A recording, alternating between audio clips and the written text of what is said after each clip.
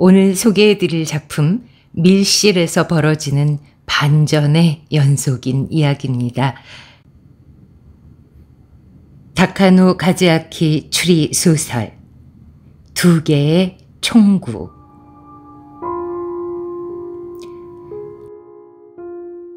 탕 하는 낮은 파열음이 들린 순간 이시야마 겐타는 생각했다. 설마 총성? 가끔 길에서 듣는 차의 배기관 소리와는 확실히 달랐다. 뱃속까지 울리는 위험한 폭발음. DVD로 즐겨보는 할리우드 액션 영화에서 자주 들리는 소리다. 게다가 그 소리는 한 번이 아니라 간격을 두고 몇 번이나 울렸다. 손에 들고 있던 대걸레를 벽에 기대 두고 4층 창문으로 몸을 내밀었다. 골든위크 연휴 덕분인지 도쿄 안은 한산하다. 오후 늦은 시각인데도 평일에 들리던 소음이 거짓말 같다. 이시야마는 소리가 들렸던 방향을 눈으로 쫓았다. 트럭이 주차장 가득 서 있는 운송회사의 낮은 건물. 그 너머는 무슨 공기관 시설. 고막에 남은 인상으로 추측하건대 소리가 난 건 더 먼 곳이다. 고속도로 고가가 보이는 저쯤일까? 사람들의 비명도 경찰차의 사이렌도 들려오지 않았다. 범죄가 번번이 일어나는 로스앤젤레스도 아니고 라고 생각하며 이시야마는 창가에서 멀어졌다. 잘못 들은 건가 보다. 단조로운 작업 중간에 좋은 휴식이 되었다. 바닥 왁스칠을 재개하려는데 이시야마 하고 크게 부르는 반장의 목소리가 아래층에서 들렸다. 그 소리가 1층에서 5층까지 이어지는 좁은 계단 공간에 메아리 쳤다. 네 하고 대답을 하면서 4층을 떠났다. 엘리베이터가 없는 현장은 이래서 싫다. 좁은 계단을 한 개씩 내려갔다. 10계단 내려가서 방향이 틀어져서 또 같은 수만큼 계단을 내려가 아래층에 도착했다. 그렇게 계속 방향 틀기를 반복하며 3층, 2층, 1층에 다다랐을 때에는 눈이 핑핑 도는 것 같았다. 반장은 계단 아래에 있었다. 방화 셔터가 내려가 있어 1층은 한 평 정도 면적밖에 없다. 이제 4층이랑 5층 남았지? 하고 반장은 말했다. 작은 체구에 이시야마와 똑같은 작업복을 걸쳤다. 가슴에는 명찰처럼 교화 빌딩 관리회사라고 박혀 있고 팔에는 이 학교 출입업자를 나타내는 완장을 찼다. 이시야마는 고개를 끄덕였다. 위에 두 개 층의 왁스칠만 하면 이 짜증나는 현장 일은 끝이다. 6년간 일관 교육을 실시한다는 사립학교. 1,500명의 학생들이 이용하는 제3교사의 개장 공사는 건물 내 출입이 없는 연휴 중에 마칠 수밖에 없었던 것이다. 잠깐 회사 쪽에 다녀올 테니 남은 작업들 부탁해. 네. 한 시간 정도 후에 돌아올 테니까. 반장은 그렇게 말하며 방화 셔터에 달린 금속재 문을 열었다. 그리고 난처한 듯 돌아섰다. 아이, 열쇠를 어쩐다. 작업 현장의 열쇠 관리는 책임자가 맡는 거다. 아르바이트로 들어온 지 얼마 안 된 이시아마에게 맡겨도 될지를 망설이는 모양이다. 그냥 잠가놓고 가주십시오. 무슨 일이라도 생기면 괜히 귀찮아지니까요. 아, 그러지. 반장은 이시야마의 대답을 듣고 열쇠를 들고 문 바깥으로 나갔다. 문 너머에서 열쇠 잠그는 소리가 들렸다. 셔터 자체는 전동식 개폐 방식이지만 스위치는 바깥에 있다. 이시야마는 5층짜리 교사에 갇히는 처지가 되었다. 사람 하나 없는 학교는 왠지 기분이 나빴다. 이시야마는 작업복 주머니를 뒤져서 넣어뒀던 이어폰을 꺼냈다. 카드형 라디오만이 일의 지루함을 지워주는 유일한 도구였다. 양쪽 귀를 막는 헤드폰의 사용은 고용주가 금지하고 있었다. FM 주파수를 맞춘다. 예전에 유행했던 가요가 들렸다. 발로 박자를 맞추면서 이시야마는 생각했다. 이미 3층까지 칠한 왁스는 이제 다 말랐을 것이다. 올라가면서 세계층의 창문을 닫고 불을 꺼두자. 반장이 돌아오는 대로 바로 철수할 수 있게. 1층은 좁은 계단 밑 말고는 작업할 곳이 없다. 학생 식당과 매점이 같은 층에 있지만 모두 방화 셔터 바깥이다. 이시야마는 2층으로 올라갔다. 신발장이 늘어선 짧은 복도와 그 끝에 있는 넓은 검도장, 복도 반대편에는 화장실. 이 제3교사는 학교 창립으로부터 한참 뒤에 증축된 것으로 보인다. 당초에는 없었던 설비를 덧붙인 건가 보다. 운동화를 벗고 60평 정도 되는 넓은 도장에 올라가 창문을 하나씩 닫았다. 도장 정면에는 마룻바닥으로 된 넓은 무대가 낮게 설치되어 있고 좌우 벽에 문이 하나씩 달렸다. 탈의실과 교사 준비실인 듯하다. 둘 다 열어보고 창문이 잘 닫혀 있는지 확인했다. 마찬가지로 3층도 복도에 칠한 왁스가 마른 걸 확인하고 나서 그 끝에 있는 유도장으로 갔다. 여기엔 다다미가 깔려 있어서 왁스칠을 한 곳은 주위의 마룻바닥 부분 뿐이다. 탈의실, 교사 준비실과 창문을 확인하고 도장을 나오면서 벽에 달린 스위치를 찾아 불을 껐다. 유도장은 예상치 못했던 암흑에 휩싸였다. 해가 저물기 시작했나 보다. 반장이 빨리 돌아와 주면 좋을 텐데. 이시야마는 조금 불안해졌다. 밤에 학교가 이렇게 무서울 줄이야. 4층으로 돌아온 이시야마는 대걸레를 들고 왁스칠을 재개했다. 복도 옆 음악실과 끝에 있는 미술실, 모두 30평 정도 넓이다. 바닥재 재질이 달라서 수성과 유성 왁스를 나눠 써야 한다. 적정량을 타일 위에 덜어서 대걸레로 펴 바른다. 이렇게 교실을 청소하다 보니 불과 몇 년 전이지만 자신이 고등학생이었던 무렵이 그립게 여겨졌다. 이름도 없는 대학교에 진학해 졸업한 후에는 아르바이트만으로 생계를 유지하게 될 줄 꿈에도 생각하지 못했던 그 무렵 취직도 그렇게 좋은 자리를 바랐던 건 아니었다. 그저 소극적인 성격 탓에 면접 시험에서 자신의 단점까지 부각시키게 되는 게 문제였다. 교실 두 곳과 복도, 4층 작업은 끝났다. 이제 고지가 코앞이다. 라디오에서 10대 때 유행했던 곡이 흘러나오기 시작했다. 이시아마는 음악을 들으면서 하나 위 꼭대기층으로 올라갔다. 5층은 좁다. 3평 정도 되는 비품 창고. 안쪽에 있는 철문은 아마 옥상으로 통하는 출구이리라. 얼른 끝내자고 바닥에 왁스를 뿌리고 있는데 철컥철컥 금속 소리가 희미하게 들려왔다. 이시야마는 계단 쪽을 돌아봤다. 형광등 불빛이 음울하게 번뜩이고 있다. 금속음은 저 멀리서 들리는 것 같았다. 무슨 소리일까 고개를 갸웃거리다가 겨우 깨달았다. 1층 방화 셔터가 올라가는 소리다. 어, 반장이 돌아온 게 분명하다. 하지만 어째서 금속문 쪽이 아니라 셔터째 열고 있는 걸까?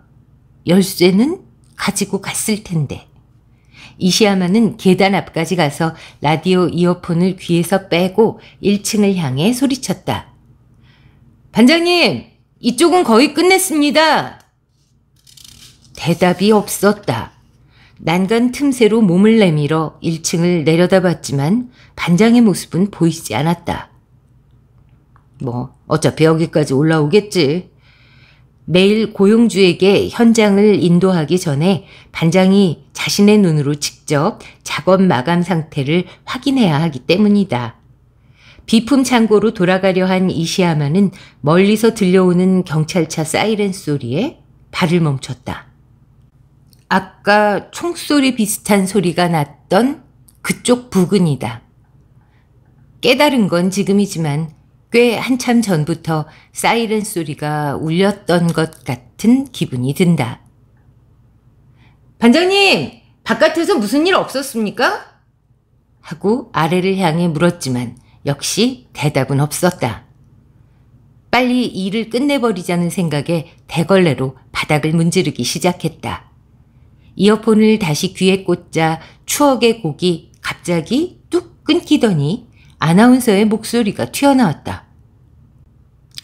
긴급 뉴스입니다. 방금 오후 4시 50분경 매그로그 오바시에서 엽총 두 자루를 가진 남자가 통행인을 향해 발포해 네 사람을 사살하고 다섯 명에게 중경상을 입히고 도주했습니다. 이시야마는 대걸레를 움직이던 손을 멈췄다. 아까 들었던 폭발음은 역시 총성이었던 건가?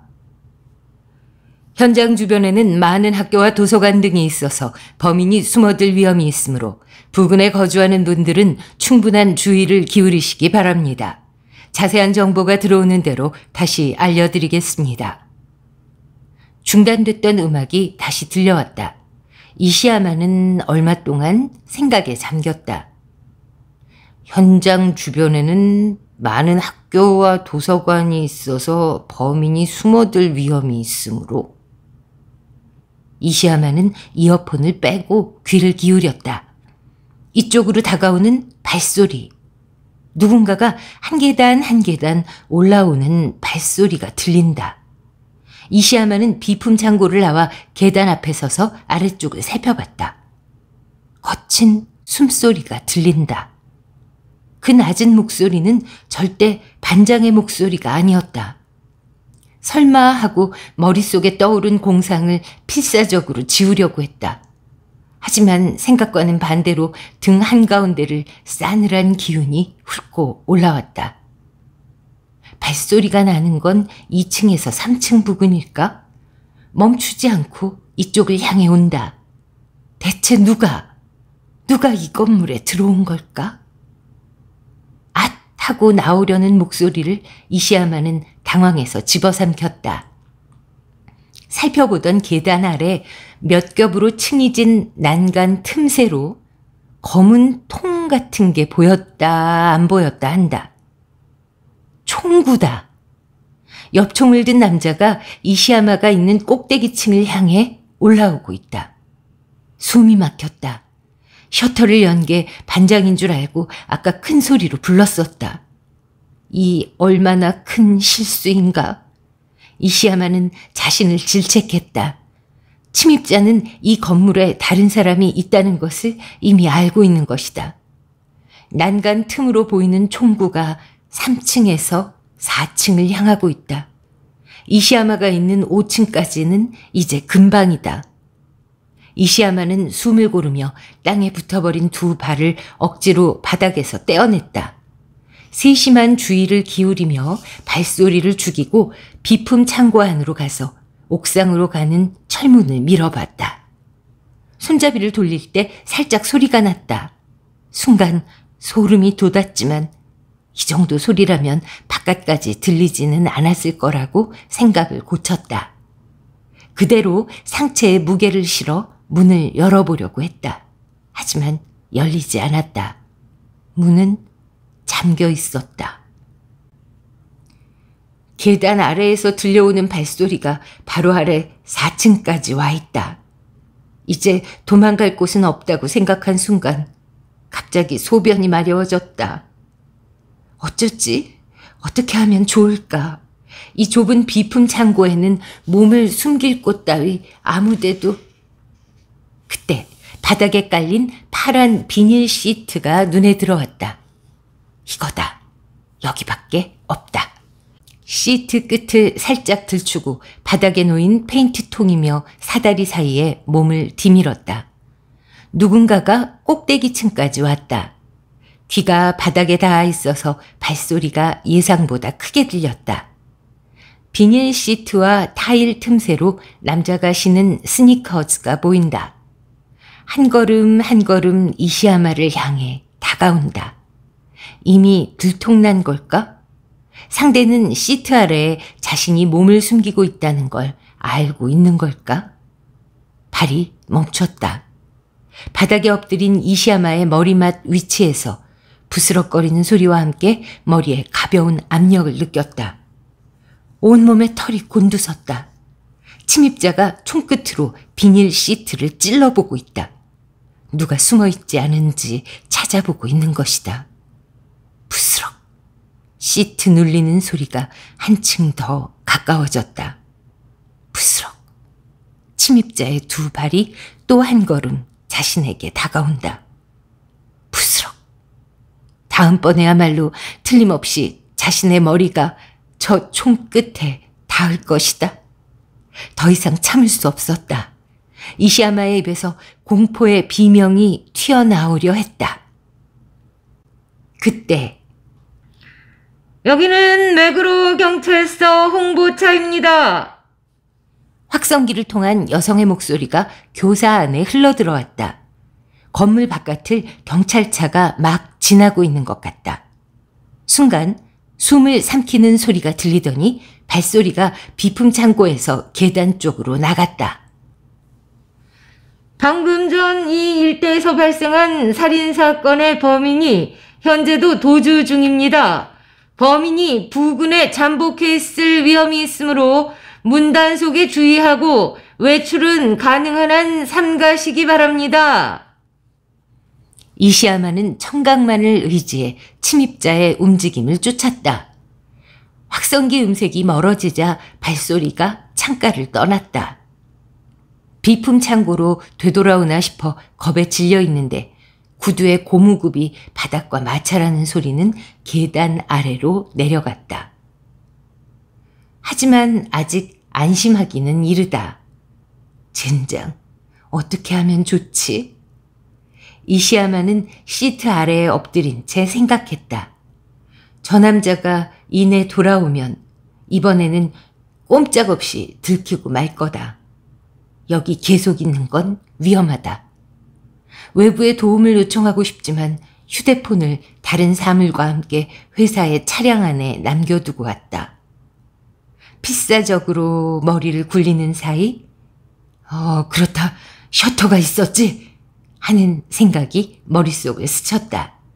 엽총을 가진 남자는 1층의 방화 셔터 개폐 버튼을 눌러서 안에 들어왔다. 그렇다면 지금도 셔터는 열려 있지 않을까? 이시야마는 건물의 구조를 머릿속에 그려봤다. 계단은 건물 측면에 위치하고 있다. 침입자가 복도나 교실 혹은 도장 안쪽에 있어 준다면 계단은 사각지대가 되는 거다. 적의 눈을 피해 1층까지 내려가면 목숨을 건질 수 있을지도 모른다. 아니, 그것밖엔 이 건물에서 나갈 방법이 없다. 겁내지 마. 이시야마는 자신을 격려했다. 여기에 남아있으면 엽총의 희생물이 될 건 뻔한 일이다. 귀를 기울였다. 발소리는 들리지 않는다. 아마도 침입자는 계단이 아니라 4층보다 아래층에 있지 않을까? 이시야마는 살며시 비닐 시트를 들추고 주위를 둘러봤다. 5층에 있는 건 자신뿐이다. 엎드린 상태에서 몸을 굴려 시트 바깥으로 나왔다. 일어서자 가벼운 현기증이 일어났다. 눈에 초점이 맞기를 기다렸다가 계단 앞까지 왔다. 아무도 없다. 문득 5층 창으로 바깥에 도움을 구하면 어떨까 생각해 봤다. 이 궁지에 몰린 상태를 외부에 전할 수만 있다면. 하지만 밤이 된 지금 학교에 인접한 운송회사에는 사람 그림자 하나 보이지 않았다. 이렇게 된 거 어쩔 수 없다. 이시야마는 귀에 모든 신경을 집중시키고 천천히 계단을 내려가기 시작했다. 한 층을 절반 내려와 방향을 틀려던 순간 바로 침입자의 위치를 알았다. 4층 복도였다. 거친 숨소리가 들려온다. 아무래도 남자는 음악실과 미술실 앞을 왔다 갔다 하고 있는 것 같다. 틈을 봐서 내려갈 수밖에 없겠다. 체온이 올라간 건지 덥지도 않은데 땀줄기가 관자놀이를 타고 내려갔다. 벽에 등을 댄 채 발소리가 복도 안쪽 미술실로 향하기를 기다렸다. 이쪽으로 가까워오던 사람의 기척이 복도 끝에서 발걸음을 돌리더니 반대쪽으로 돌아가기 시작했다. 지금이다. 침을 꿀꺽 삼킨 이시야마는 난간에 가볍게 손을 얹고 한 계단 한 계단 신중하게 계단을 내려갔다. 4층에 도착했다. 계단 앞을 복도가 가로지르는 형태로 되어 있어서 남자의 모습은 보이지 않았다. 범인에게 이시야마의 모습이 보일 염려도 없다는 말이다. 발소리가 멀어지고 있는 걸 확인하고 이시야마는 다시 아래층으로 내려가기 시작했다. 성공했다. 반층 내려와서 4층의 분위기를 살폈지만 눈치채인 것 같지 않다. 당장이라도 1층까지 뛰어내려가고 싶은 걸 꾹 참고 어쨌든 소리를 내지 않도록 주의하면서 3층, 2층을 통과했다. 이제 반층만 더 내려가면 1층이다. 그러나 거기서 아래를 내려다보고 이시야마는 신음했다. 방화 셔터가 닫혀 있다. 이래서는 밖으로 나갈 수가 없다. 급한 마음에 두 계단씩 내려가 셔터에 달린 금속문이 열리지 않는지 밀어보았다. 덜컹 예상치 못했던 큰 소리가 건물 전체에 울려 퍼졌다. 이시아마는 소스라치게 놀라서 위층을 올려다봤다. 4층에서 발소리가 내려온다. 눈치를 챘다. 무차별 살인범이 자신이 1층에 있다는 사실을 알아차린 것이다. 이시아마는 반사적으로 계단을 뛰어 올라가기 시작했다. 1층엔 몸을 숨길 만한 게 아무것도 없기 때문이다. 숨으려면 2층부터 올라가야 한다. 전속력으로 위층으로 올라갔을 때 위쪽에서 내려오는 발소리는 바로 근처까지 와 있었다.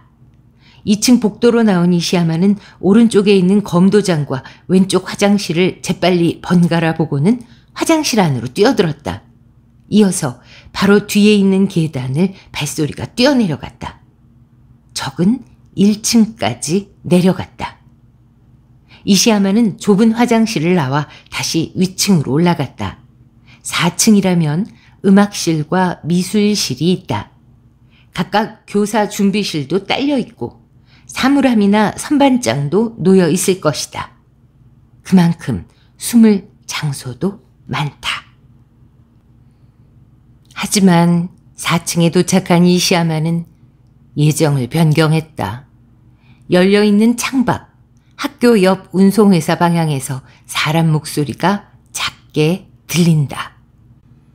억지로 눈을 부릅뜨고 어둠 속에 지상을 내려다보니 일이 끝나고 돌아가는 길로 여겨지는 남자 두 명이 차고 바깥을 걷고 있는 게 보였다. 목소리를 낼 수는 없다. 이시야마는 두 손을 크게 흔들며 두 사람의 관심을 끌려고 했다. 제발 이쪽을 봐줘.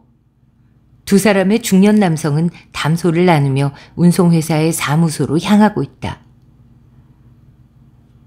여기, 여기 학교 건물을 봐달라고.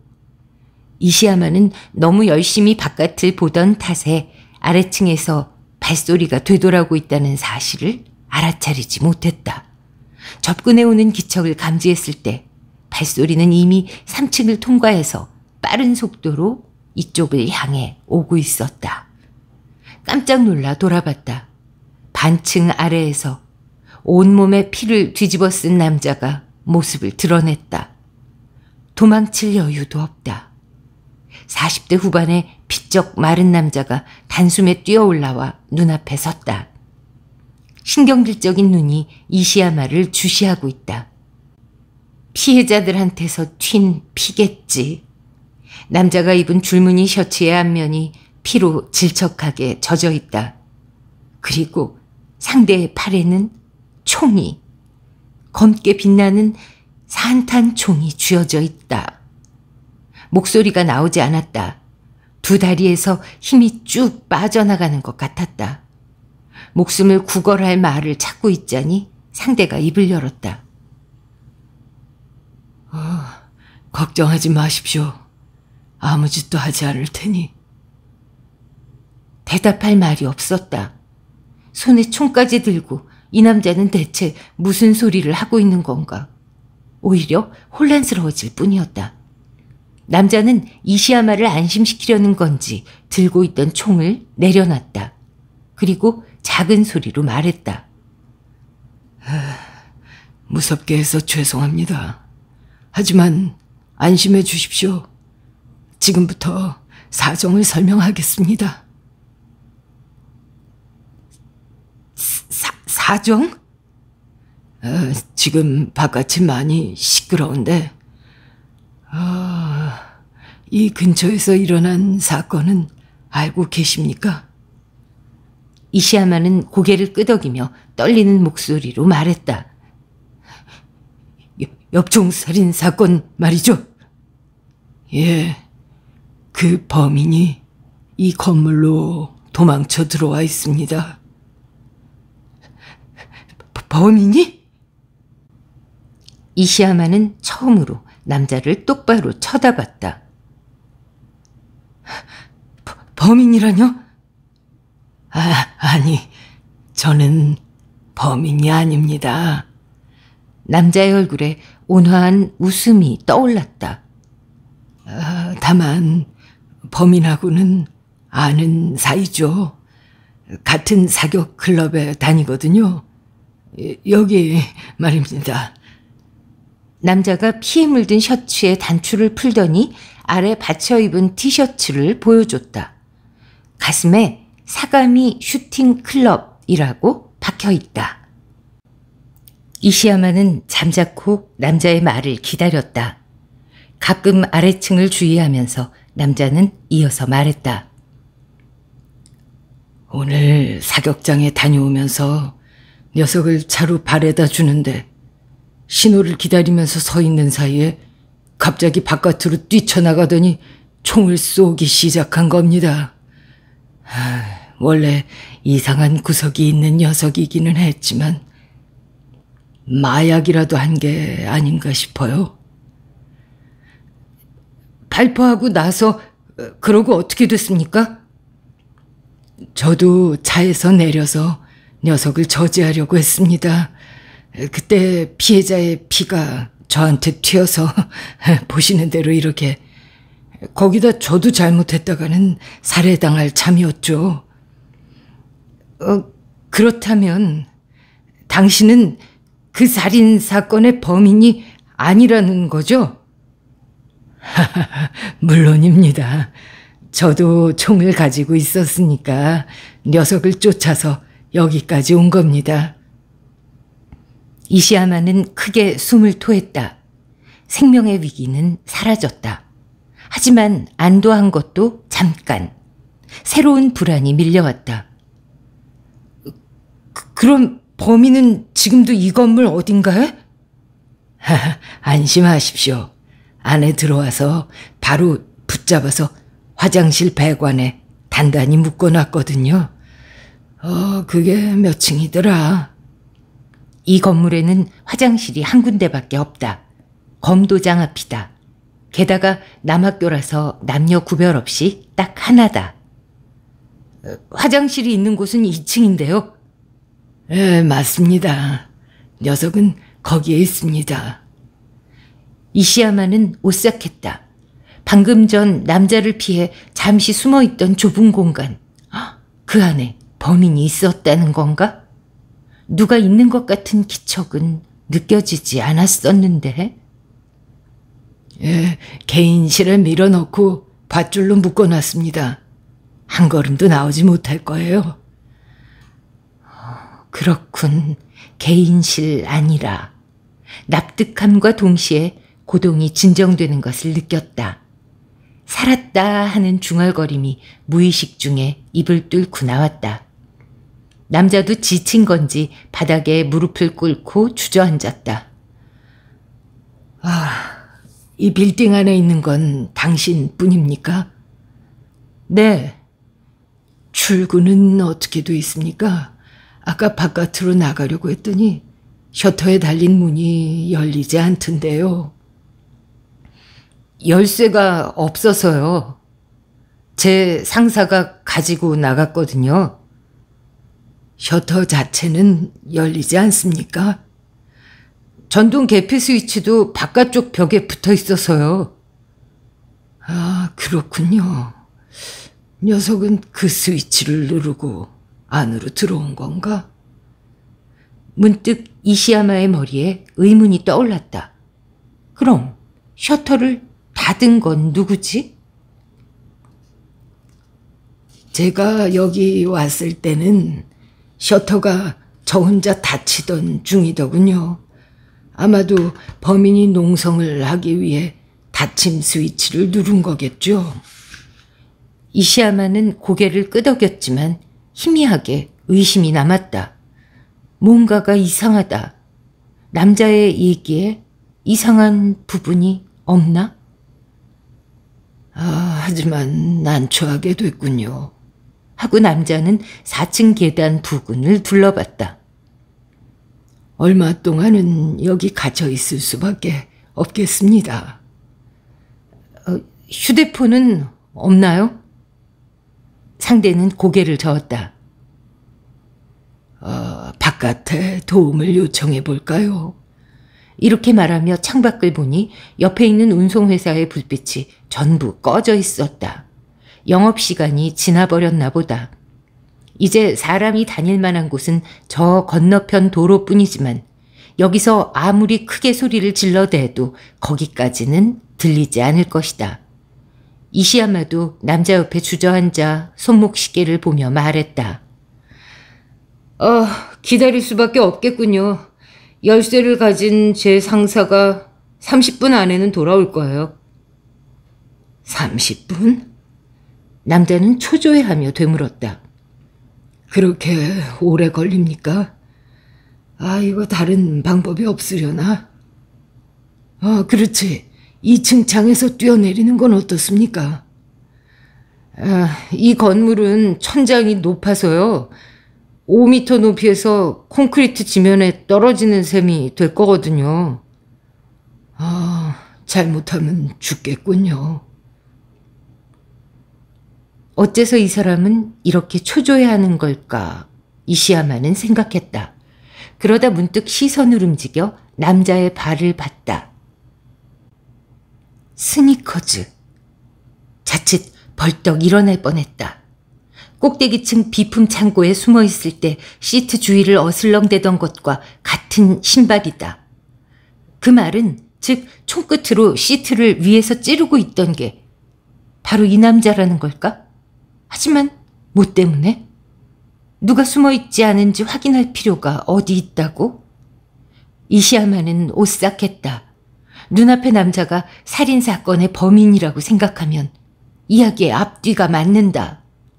셔터의 스위치를 잘못 눌러 스스로가 도망칠 길을 닫아버린 거다. 이시야마를 죽이지 않은 건 바깥에 나갈 방법을 알아내기 위해서라고 볼 수 있지 않을까? 자기도 모르게 눈을 부릅뜬 이시야마에게 남자가 물었다.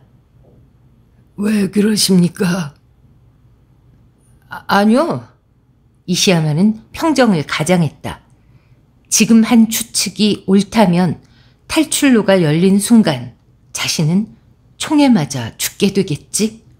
혹은 도주를 위한 인질로 이용될지도 모른다. 아마도 그 순간은 30분 안에 올 거다. 반장이 돌아와서 셔터에 달려있는 문을 연 바로 그 순간이다.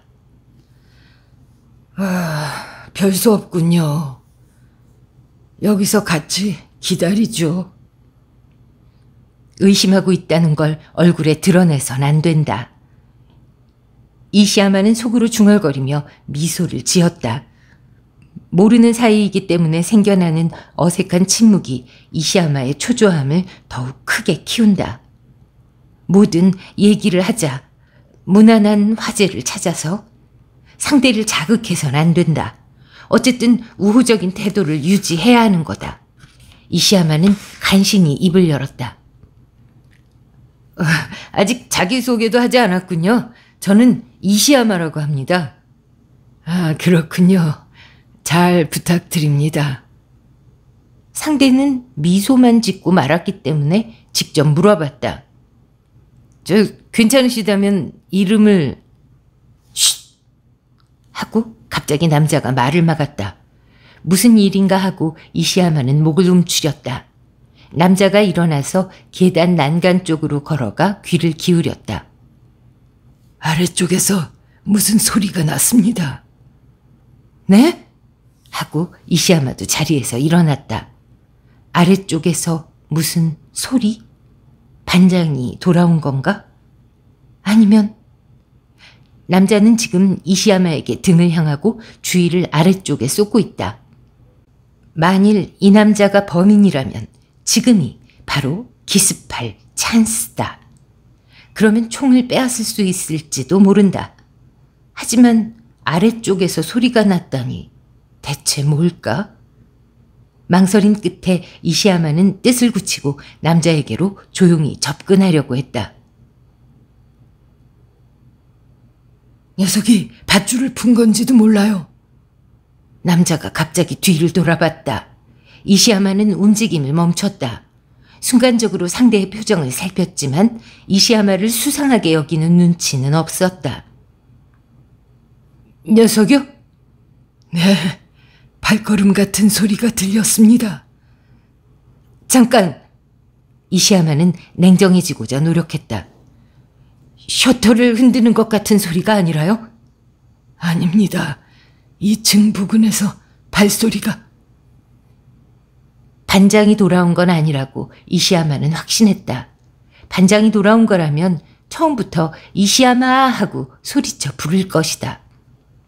그렇다면 남자가 하는 말은 사실일까?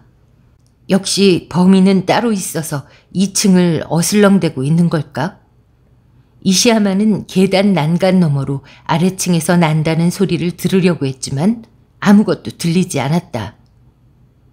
아, 잠깐 상황을 보고 오겠습니다. 이시야마 씨는 여기 계십시오. 네. 남자가 산탄총에 총대를 어깨에 메고 왼손으로 총신을 지지했다. 총구만 살짝 들면 언제라도 발포할 수 있는 자세다. 이시야마는 긴장했지만 총을 이쪽으로 돌리는 일 없이 남자는 발소리를 죽이고 계단을 내려갔다. 이시야마는 자신의 추측이 틀린 게 아닐까 생각하기 시작했다. 저 남자가 하는 말에는 이상한 점이 많긴 하지만 신용해도 될 것 같았다. 왜냐하면 남자가 굳이 연극을 할 필요가 없기 때문이다. 만일 지금 그 남자가 범인이라면 가공의 살인마를 2층에 가둬둔 척하고 이제 탈출로가 열리기만 기다리면 된다. 그런데도 이시야마를 두고 굳이 혼자 아래로 내려갔다. 역시 이 빌딩 안에는 이시야마와 지금 그 남자, 그리고 무차별로 엽총을 난사했다던 흉악범까지 세 명이 갇혀 있는 게 아닐까? 단지 딱 하나 스니커즈가 신경 쓰이기는 하지만 티셔츠와 마찬가지로 사격 클럽의 규정품이라고 생각하면 납득이 간다. 그러자 2층으로 내려간 남자가 걱정되기 시작했다. 이건 인간을 상대로 한 사냥과 같다. 도의 한가운데 있는 좁은 빌딩 안에서 전개되는 목숨을 건 싸움. 만일 남자가 범인의 억습에 살해당한다면 어떻게 되는 걸까? 이시야마 자신은 아무런 무기도 가지고 있지 않다. 지금 숨을 곳을 찾아두는 게 낫지 않을까? 그때 시뻘건 불빛이 시야 한편에 들어왔다. 급히 창으로 지상을 내려다보니 회전등을 켠 경찰차가 저 멀리 달리는 게 보였다. 경찰은 범인의 행방을 어디까지 좁혔을까? 이 교사까지 도달하는 건 대체 언제쯤일까? 뭔가 새로운 정보는 없을까 하는 생각에 이시야마는 라디오의 이어폰을 귀에 꽂았다. 듣고 있던 FM 프로그램에서는 계속 음악만 흘러나오고 있었다. AM으로 바꿔 주파수를 돌려보니 뉴스 프로그램이 나왔다. 예, 살인사건의 피해자는 이상과 같습니다. 또한 최신 정보에 의하면 엽총을 난사한 범인의 신원이 판명된 모양입니다.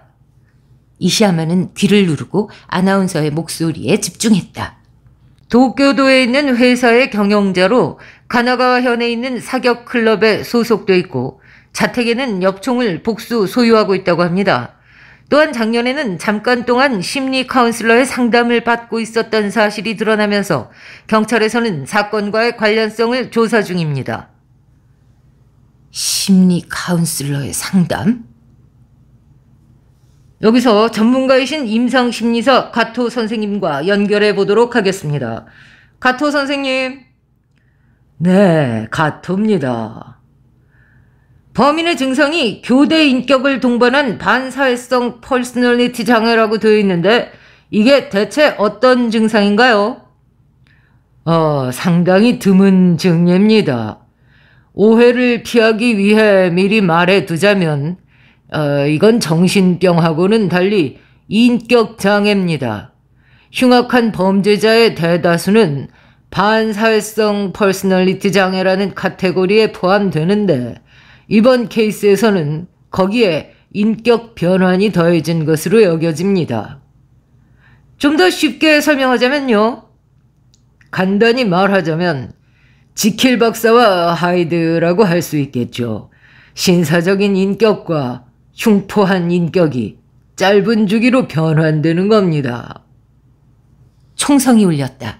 이시야마는 순간 심장이 터질 뻔했다. 아래층에서 아까 그 남자의 고함 소리가 들렸다. 이제 그만해! 더 이상 아무데도 도망칠 수 없다고! 그에 대해 흉포한 목소리가 으르렁거렸다. 말이라고 할 수 없는 의미 불명의 목소리가 거친 숨결 사이로 새 나오고 있다. 이시야마의 반대편 귀에서는 라디오의 해설이 이어지고 있었다.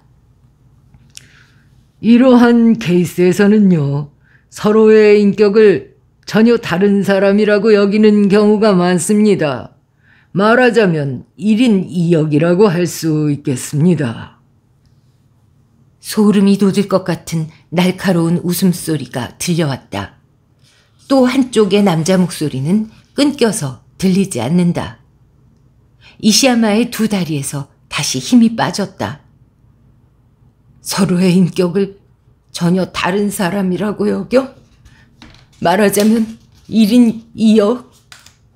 아래쪽에서는 기분 나쁜 웃음소리와 총을 버리라고 소리치는 남자의 목소리가 짧은 간격을 두고 번갈아 들리고 있다. 위험은 사라진 게 아니었다. 사라지기는 커녕 사태는 생각 이상으로 심각했다. 이름을 대지 않았던 그 남자는 산탄총을 든 지킬 박사와 하이드인 것이다. 이어서 두 발의 총성이 울렸다. 소리의 성격이 미묘하게 다른 걸로 보아 총이 두 자루임을 추측할 수 있었다. 사격 클럽에 있던 범인은 항상 두 자루의 총을 가지고 있었다는 증언이 있는데요. 어, 지킬 역과 하이드 역 각자를 위해 준비한 게 아닐까요? 인격이 바뀌면 도구의 사용에 있어서도 변화가 생길 테니까요. 아, 그렇군요. 말씀 감사합니다. 여기서 도주 중인 범인의 행방에 대해 알아보.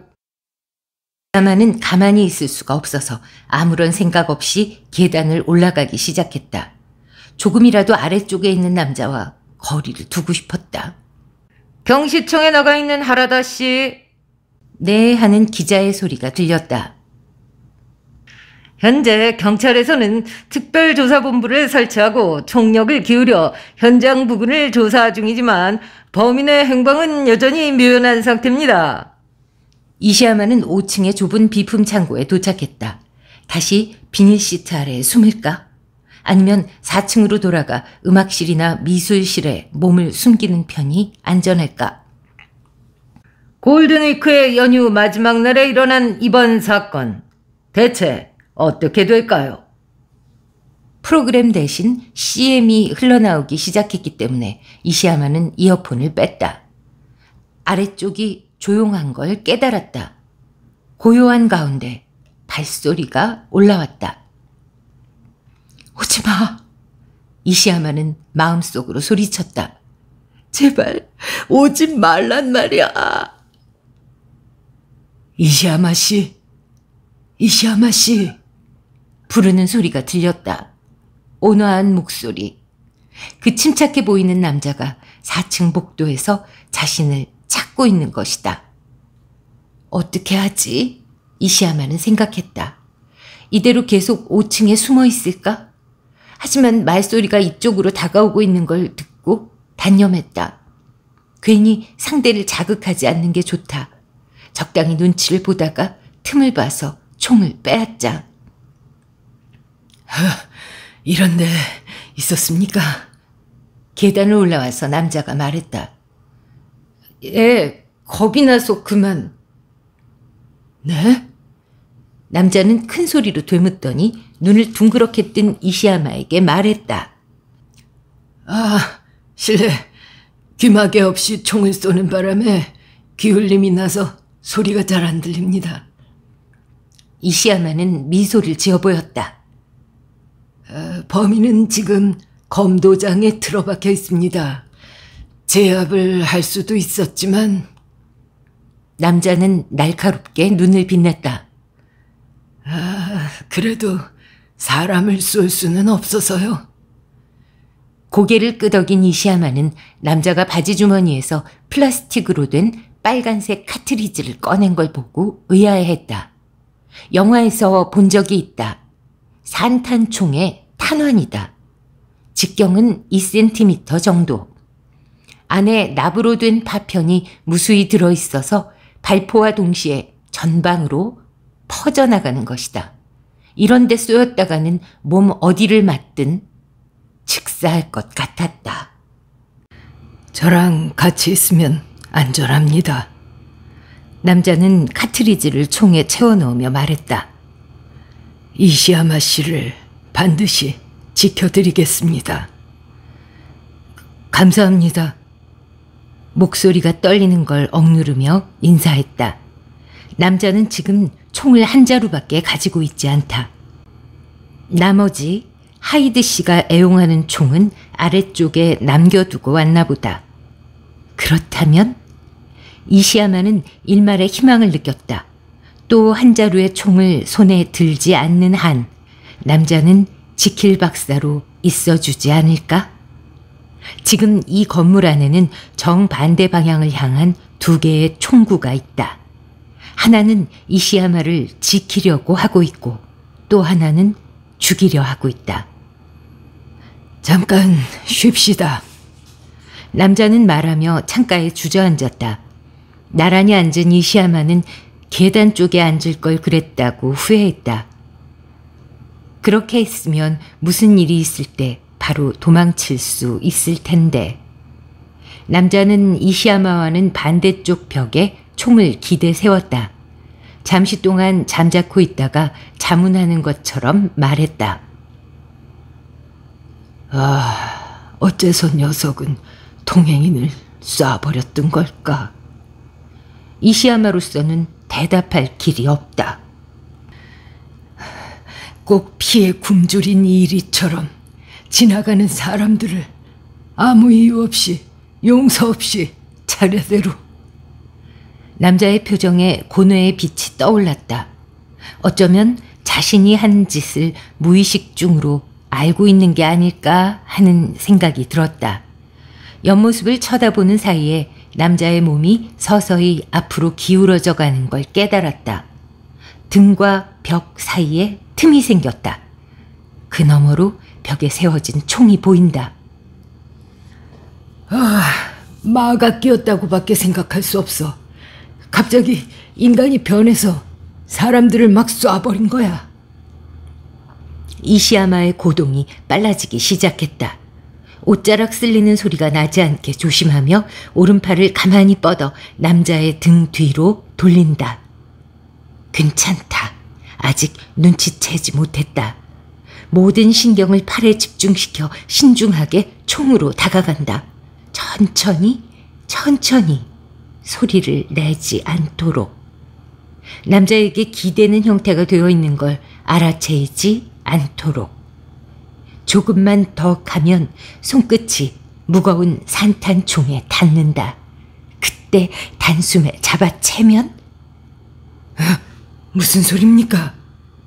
남자가 이시야마를 돌아봤다. 경악한 이시야마는 튕겨나가는 것처럼 남자에게서 떨어졌다. 남자가 이시야마를 물끄러미 쳐다보다가 이윽고 웃음을 터뜨렸다. 제가 놀라게 해버렸나요? 아, 아니요. 얼버무리다가 이시야마는 깨달았다. 몸 전체가 반응한 탓인지 이시야마의 책략을 남자는 알아채지 못한 것 같았다. 어, 희미하게 음악 같은 게 들려서요. 음악이요? 아, 고개를 갸웃거리다가 이시야마는 주머니에서 카드형 라디오를 꺼냈다. 이건 말이군요. 전원을 켜둔 상태라 이어폰에서 소리가 흘러나오고 있었던 거다. 라디오입니까? 남자의 얼굴에서 웃음이 사라졌다. 사건에 대해 뭔가 보도된 건 없었습니까? 어, 아니요. 어, 예를 들면 범인의 인상착의라든가 아니요. 아무것도요. 이시야마는 재빨리 거짓말을 했다. 아무것도 그럴 리가. 정말이에요. 아까부터 한 번씩 들어보고 있는데 아무 소식도 없어요. 남자가 처음으로 의심하는 눈초리로 이시야마를 봤다. 그 시선에 이시야마는 더 이상 긴장을 참을 수 없었다. 아까 들었던 광기를 머금은 날카로운 웃음소리가 머릿속에 되살아났다. 지금 이 순간 눈앞의 남자가 똑같은 소리로 웃기 시작한다면 다시 말해 흉폭한 인격으로 바뀌고 만다면 자신은 이렇게 가까운 거리에서 산탄을 뒤집어 쓰고 살해당할 것이다. 그렇다면 차라리 남자가 온화해져 있는 사이에 억지로 총을 빼앗아 볼까? 왜 그러십니까?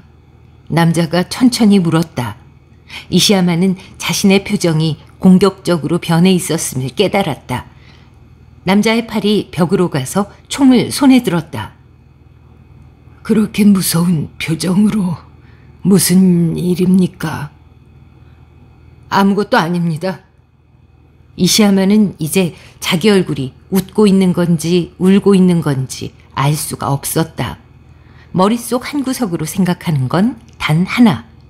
이대로 남자와 함께 있다가는 자신이 언젠가는 공포를 참지 못하게 되리라는 것 뿐이었다.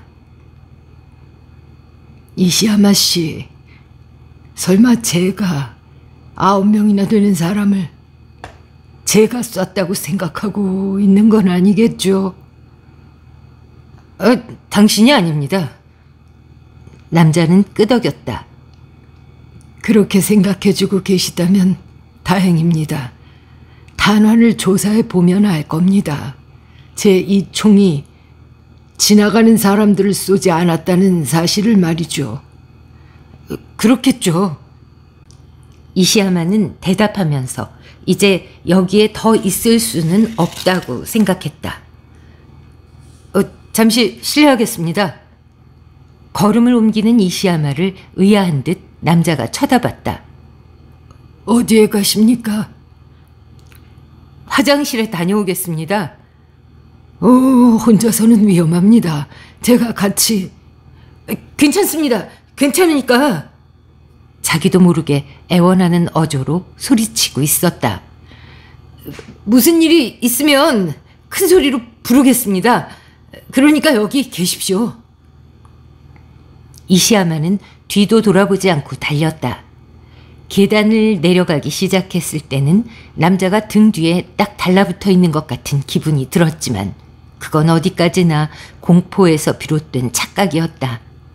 반층 내려와서 확인했지만 남자는 5층에 그대로 남아 있었다.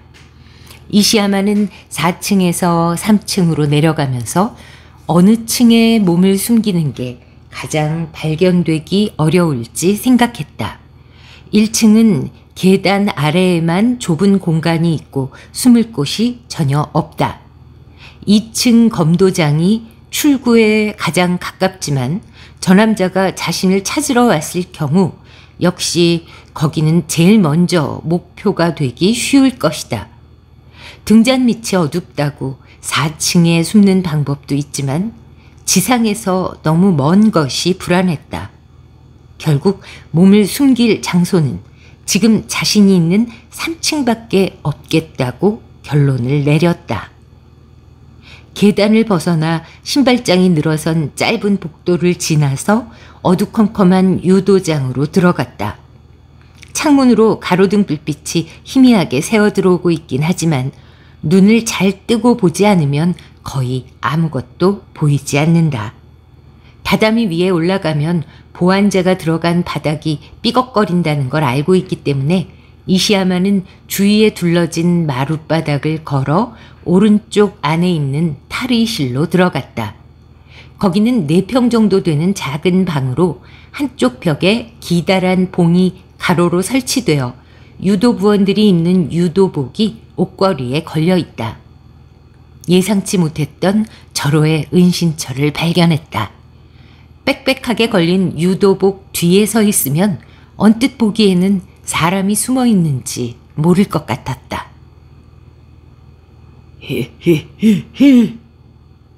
히히히 하는 기분 나쁜 웃음소리가 들렸다. 이시야마는 얼어붙었다. 광기를 머금은 날카로운 웃음소리. 청각의 주의를 기울여 거리를 가늠했다. 의외로 가까웠다.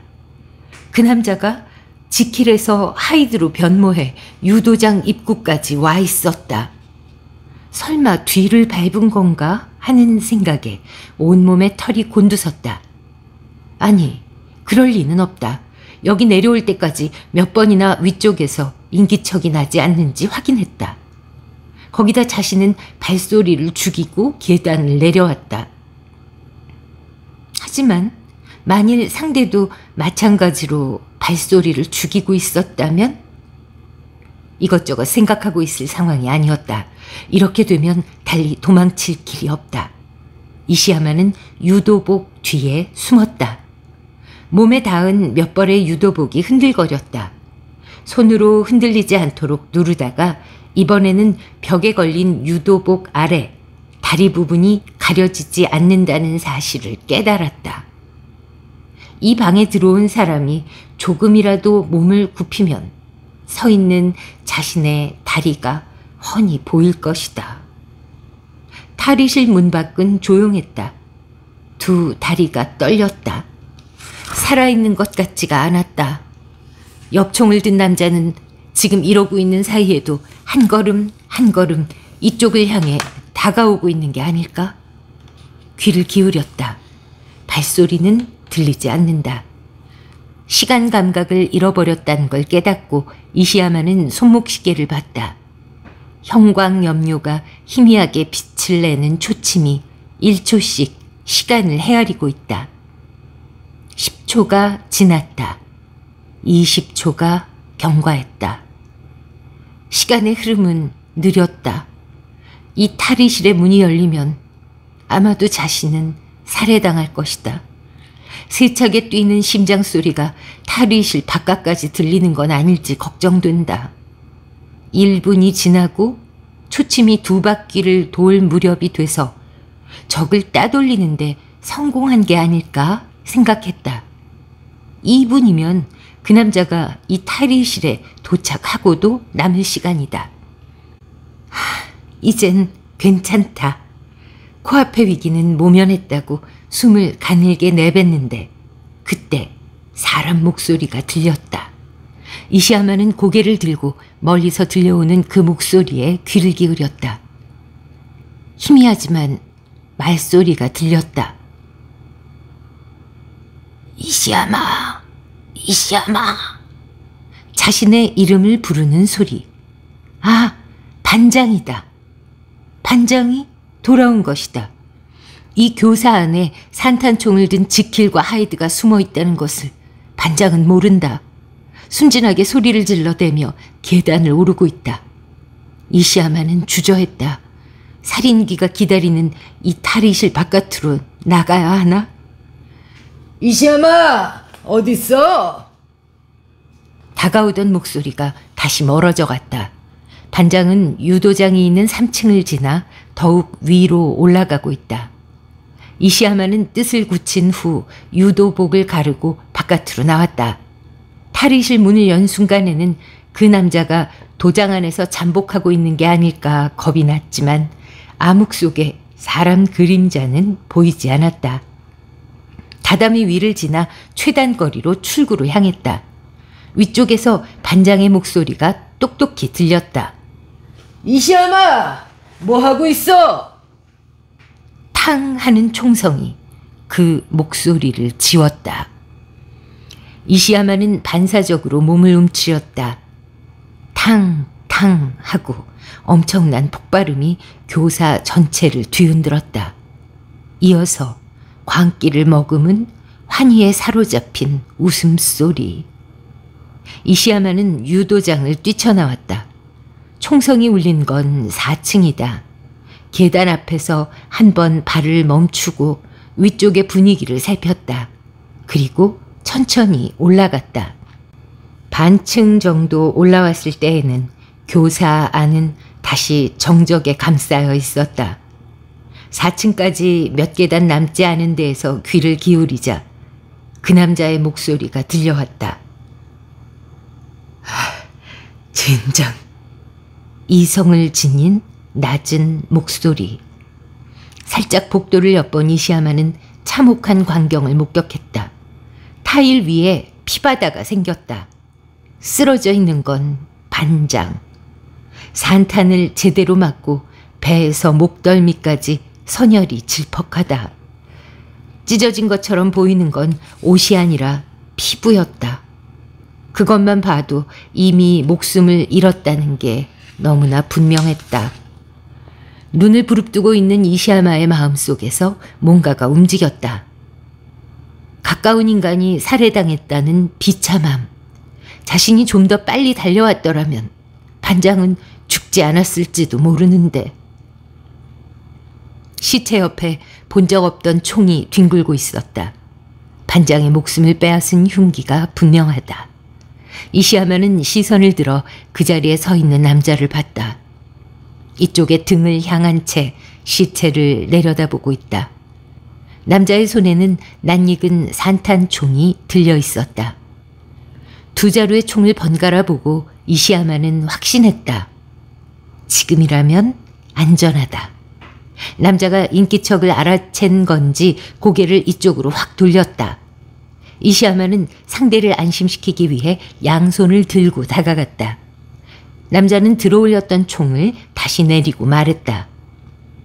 이시야마 씨 어디 갔었습니까? 화장실이요. 이시야마는 쌀쌀맞게 말했다. 보시는 대로 한 사람이 또 살해당하고 말았습니다. 그렇게 말하는 남자의 얼굴에는 비통한 표정이 감돌고 있었다. 이시야마는 반장에게로 눈을 향했지만 똑바로 쳐다보지 못하고 시선을 돌렸다. 종성을 듣고 바로 달려온 건데 한 발 늦었군요. 그나저나 이 사람은 누굴까요? 기억 안 나십니까? 이시야마는 분노를 억누르는데 필사적이었다.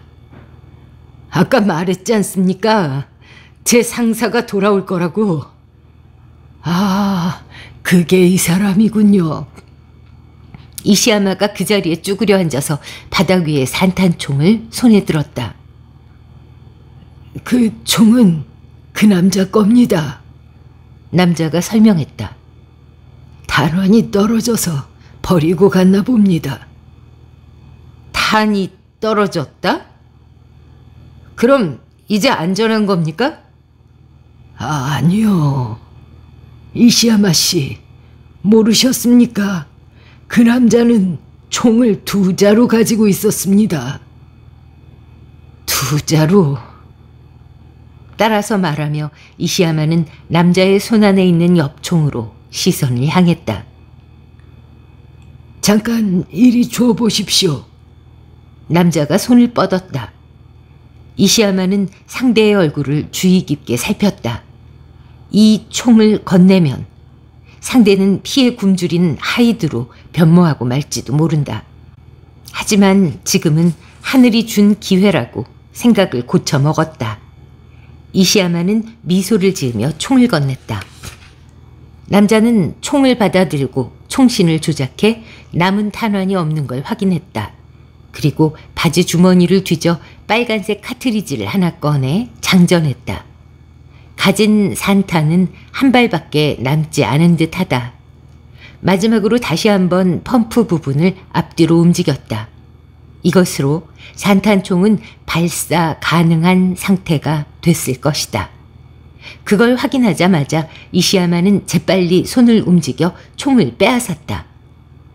깜짝 놀란 남자가 자신에게 총구가 향해진 것을 깨닫고 안색을 바꿨다. 무슨 짓입니까? 네가 가진 총도 얼른 넘겨! 대체 뭐가 어떻게 된 거야? 그렇게 중얼거리면서 남자가 뒷걸음질 쳤다. 움직이지 마! 이자야마는 남자를 견제했다. 이미 손가락은 방아쇠에 걸려 있다. 아래를 향하고 있는 남자의 총이 조금이라도 위를 향하면 그 자리에서 발포할 작정이었다. 시키는 대로 해. 내가 사람을 죽였다고 생각하는 건가? 그래, 죽인 건 또 하나의 너다. 무슨 소리를 하는 거야? 내가 아니란 말이야. 이중인격 살인마! 아니야. 범인은 또 한 명의 남자가 말을 흐렸다. 바닥을 보고 있던 총구가 부들부들 떨리기 시작했다. 동시에 이시야마를 쳐다보는 남자의 두 눈이 순식간에 흉악한 빛을 띄어간다. 날 죽일 셈이냐? 이시야마는 구토할 것 같은 긴장감을 느꼈다. 이제 곧 녀석이 나타난다. 날카로운 목소리로 기분 나쁘게 웃는 피에 굶주린 살인귀가. 그런데 그때 날카로운 그 웃음소리가 들려왔다. 남자의 총이 비스듬히 들려 올라간다. 그 직후 이시야마의 두 팔이 쥐어 뜯기는 것 같은 기세로 뒤로 날아갔다. 산탄총 발사에 따른 반동 때문이었다. 굉음이 귀를 찢으면서 무수한 납 파편을 뒤집어 쓴 남자가 등부터 바닥으로 내동댕이 쳐졌다. 격심한 귀울림 때문에 아무 소리도 들리지 않았다. 뒤로 떨어뜨린 총을 돌아볼 여유도 없었다. 이시야마는 헉헉 거친 숨을 몰아쉬면서 그 자리에 우뚝 서 있었다. 여기가 어디고 자신이 누구인지조차도 얼마 동안 생각나지 않았다. 악몽에서 깨어나기를 기다리는 것만 같은 불쾌한 부유감이 온몸을 채우고 있었다. 흥분이 가심에 따라 자신이 지금 무슨 짓을 한 건지 인식되기 시작했다. 이시야마는 사람을 총으로 쏴 죽였다. 그렇다. 자신은 산탄총을 발사해 사람의 목숨을 빼앗은 것이다. 심장을 찌르는 죄악감은 그러나 순간적인 것이었다. 이건 살해당한 반장의 원수를 갚은 거라고 생각하기로 했다. 거기다 쏘지 않았다면 이쪽이 살해당했다. 정당방위다. 총을 발사했을 때의 감촉이 손목의 아픔과 함께 아직 남아 있었다. 가까운 거리에서 발사된 산탄에 소리 한 번 지르지 못하고 날아가 쓰러진 남자의 모습이 뇌리에 되살아났다. 이시야마에게 충격이었던 건 자신이 제정신을 잃지 않았다는 사실이었다. 자신은 정상을 유지하고 있었다. 반장이 총에 맞은 걸 알았을 때 마음속에서 뭔가가 변했다. 스위치가 켜진 것 같은 감각. 그때부터 솟아오르는 야만적인 충동을 억누를 수가 없었다. 청각은 아직 돌아오지 않았다. 소리가 없는 세상에서 이시야마는 눈을 감고 쓰러져 있는 남자를 시야에서 지웠다. 이 남자를 원망할 수는 없다고 생각했다. 사람은 누구나 이성으로는 어떻게 할 수 없는 흉악한 일면을 안고 있다. 평범하게 생활하는 한은 존재조차 알아차리지 못할 하이드가 누구의 마음속에나 숨어 있는 것이다. 그때 기괴한 웃음소리가 들렸다. 그래, 저 웃음소리다. 이시야마는 지금도 자신의 내면에서 남자를 쏘아 죽인 또 한 명의 자신이 소리내어 웃고 있음을 깨달았다.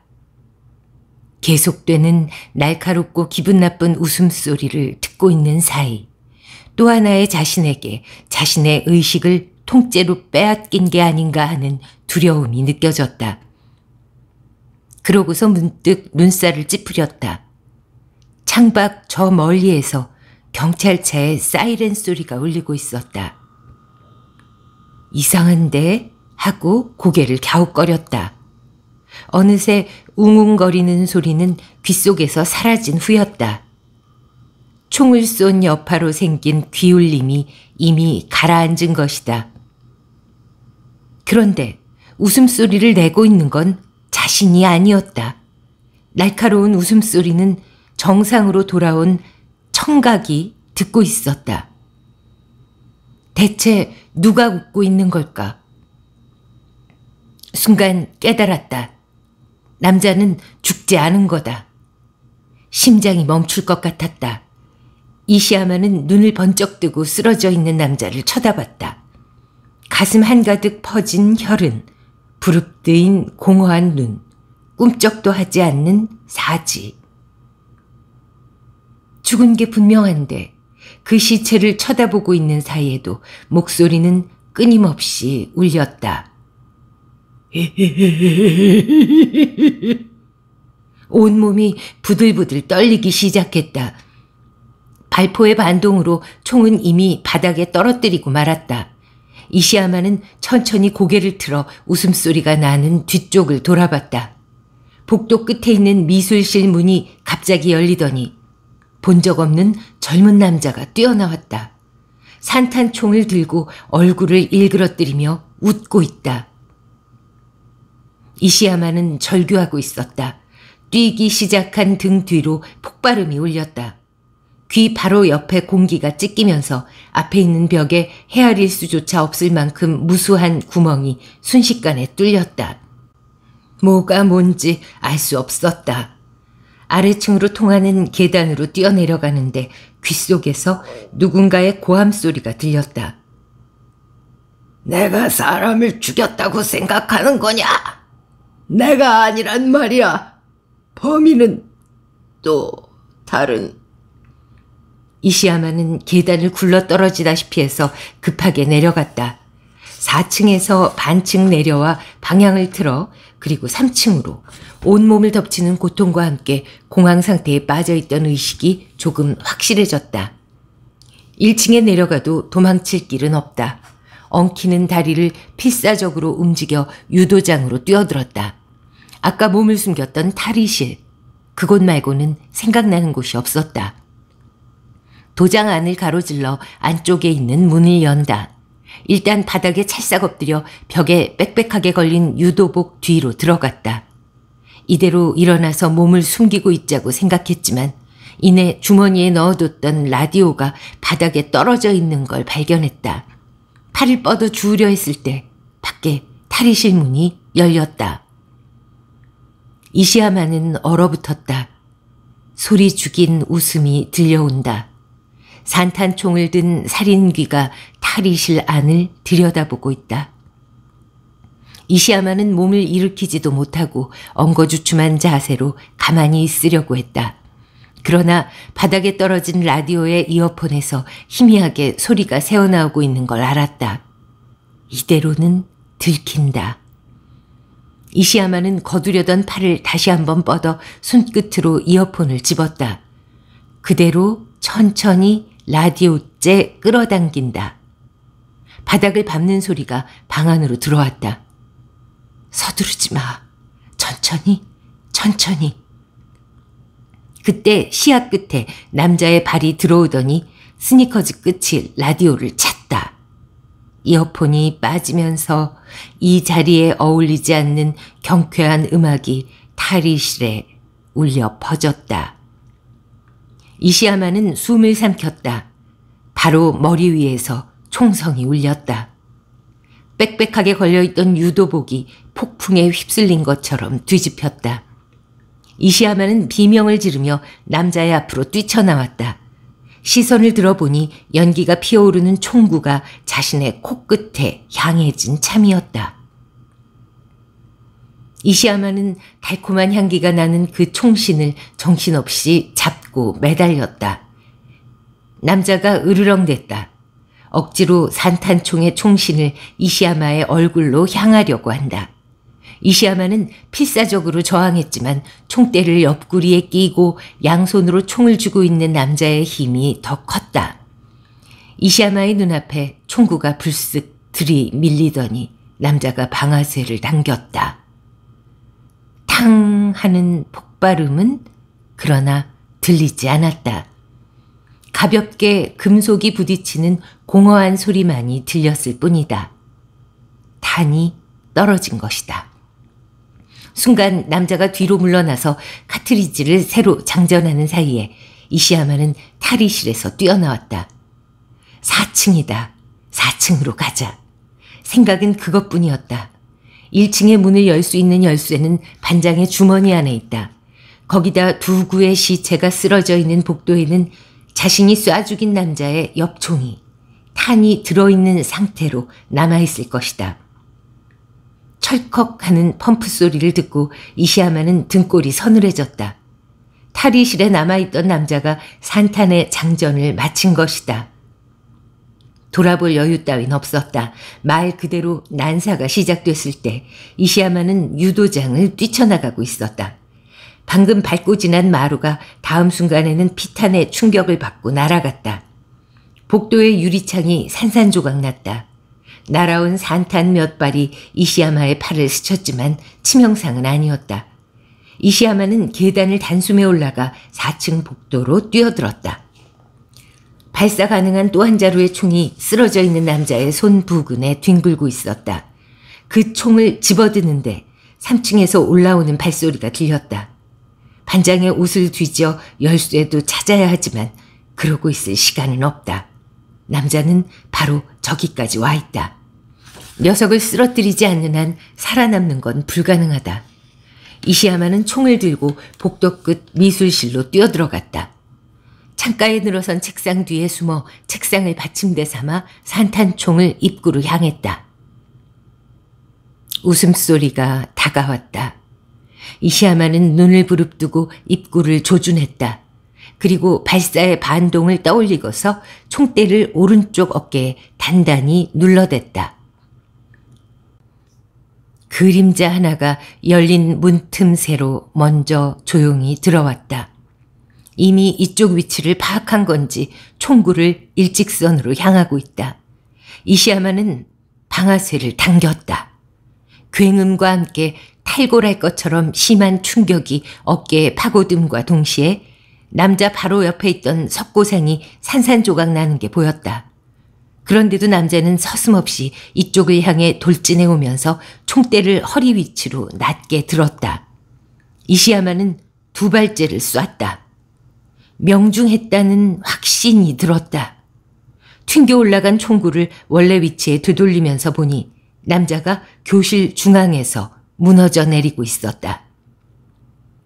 심한 귀울림으로 청각은 이미 완전히 마비돼 있었다. 이시야마는 얼마 동안 조준 자세를 유지하며 상황을 살폈다. 남자의 오른손은 아직 산탄총을 쥐고 있지만 그 몸은 이미 축 처졌다. 가끔 두 팔과 두 다리가 부르르 떨렸다. 일어서는 기척은 없다. 청각이 돌아오기를 기다려 이시야마는 책상 뒤에서 나왔다. 언제든 발포할 수 있도록 총을 지켜 들고서 조금씩 다가가자 가느다란 목소리가 들려왔다. 아파, 아파, 아파. 이시야마는 눈살을 찌푸리고 앞에 쓰러져 있는 젊은 남자를 내려다봤다. 잔혹한 웃음은 모습을 감추고 섬약해 보이기도 하는 하얀 얼굴을 고통 속에 일그러뜨리고 있다. 어떻게 된 거지? 신음하는 중간에 남자는 말했다.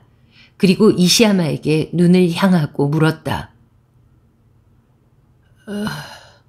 무슨 일이 있었던 겁니까? 당신은 누구죠? 이시야마는 경악했다. 마치 다른 사람 같다. 역시 이 남자가 진짜 지킬과 하이디였나 보다.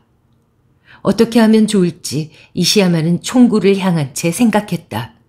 위기는 지나갔다고 생각해도 좋은 걸까? 만일 남자가 정말로 움직이지 못한다면 이대로 바깥에 나가 경찰을 부를까? 아니, 그건 안 된다고 이시야마는 서둘러 생각을 취소했다. 자신은 이 남자를 쫓아 교사에 들어온 다른 남자를 죽이고 말았다. 경찰을 부르면 체포되고 만다. 그렇다면? 이시야마의 머리에 스스로도 온몸의 털이 곤두서는 무서운 책략이 떠올랐다. 지금 여기서 이 남자를 사살하고 죄를 뒤집어 씌울까? 이 남자가 반장과 또 한 명의 남자를 죽이고 자신은 정당방위로 총을 빼앗아 범인을 죽인 거다. 그래, 그게 좋겠다. 경찰은 이미 살인범의 신원을 밝혀냈다. 이 남자가 무차별 살인을 저지른 거라고 단정해 줄 거다. 아, 줄거리는 완벽해. 하지만 정말 그런 짓을 해도 좋을 것인가 하는 의문이 이시야마의 머리 한구석에 떠올랐다. 하지만 한편으로는 남자를 죽여버리라고 속삭이는 또 하나의 자신이 있었다. 그때 또 한 번 히히히 하는 날카로운 웃음소리가 들려왔다.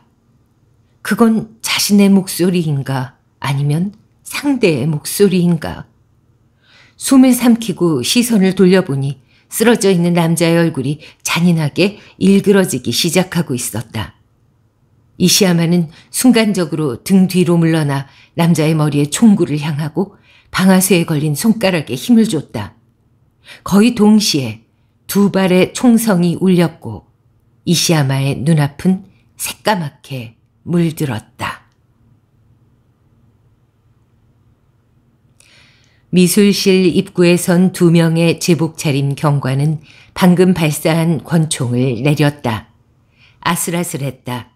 발포를 잠시라도 주저했더라면 엽총 살인 사건은 새로운 희생자를 낳았을 것이다. 순회 중에 총성을 듣고 바로 교사 안에 뛰어든 게 정답이었다. 중년 경관이 권총을 권총집에 꽂고 고통스러운 듯 신음하고 있는 남자에게로 달려갔다. 괜찮습니까? 어깨를 맞았습니다. 남자는 대답했다. 또 다른 젊은 경관은 두 발의 탄환을 맞고 쓰러진 살인범에게로 갔다. 목덜미에 손가락을 대고 맥을 확인했지만 이미 죽은 후였다. 범인 사살을 무전기에 보고하려다가 이상한 점을 깨달았다. 목격자들의 증언과 다르다. 어째서 사살당한 저 범인은 교화빌딩 관리회사라고 적힌 작업복을 입고 있는 걸까?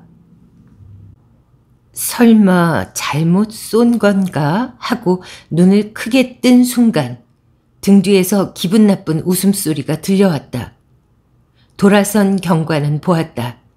방금 자신들이 살린 남자가 팔을 뻗어 동료의 권총집에서 권총을 뽑는 것을.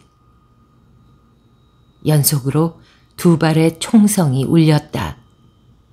경관은 흐려져가는 의식 속에서 광기와 환희에 사로잡힌 날카로운 웃음소리를 들었다.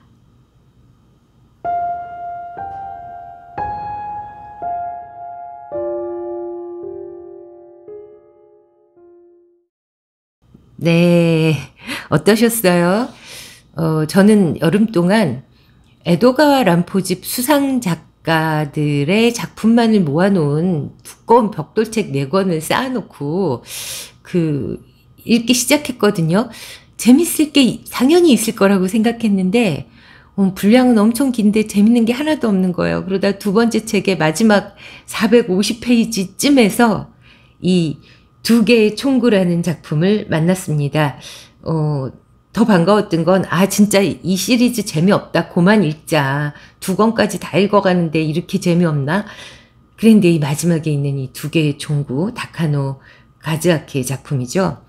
어, 이분은, 어, 미국으로 유학도 다녀왔고, TV 드라마 그 극작가로 활동을 오래 했대요. 그래서 왜 옛날에 있던 우리 베스트 세, 아니야 드라마 중에 왜 베스트 극장 그런 거 있었죠. 그런 느낌 단편 영화 같은 느낌의 작품이죠.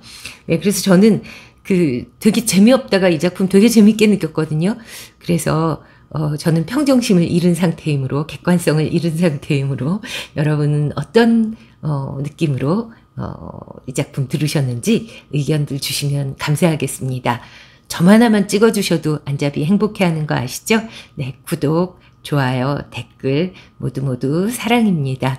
그리고 어, 무협소설 사랑하시는 분들은 보노 보노 자파점으로 안내해드리는 거 알고 계시죠? 음, 보노보노 자파점에서 김용의 어, 영웅문 만나실 수 있다는 사실 전해드리고요. 또 안자비 채널을 사용하실 때는요, 어, 채널 로 찾아가셔서 아예 채널로 가셔서 재생 목록 혹은 커뮤니티 똑같습니다. 근데 이제 형식 그 뭐랄까 겉에 있는 사진만 다르게 돼 있어요. 거기서 이제 해외 추리 소설 모음, 어, 한국 추리 소설 모음, 또 그 외에도 뭐 동화나 한국 명작들 조금씩 다 있거든요. 그렇게 해서 다음 작품 기다리시는 동안 예전에 업로드된 작품 만나보시는 것도 괜찮다는 인사를 드립니다. 녹음하는 오늘은 광복절인데요. 어, 아까 커뮤니티에 글을 올렸기 때문에 광복절 얘기는 생략하고 아무튼 이맘때면은 아침 저녁은 서늘했는데 어, 진짜 날씨가 왜 이런지 모르겠네요. 여러분 어떻게든 우리가 이겨내고 또 이 지구를 살리는데 모두 앞장섰으면 좋겠습니다. 네, 여러분 오늘 행복한 하루 되세요. 물러갑니다.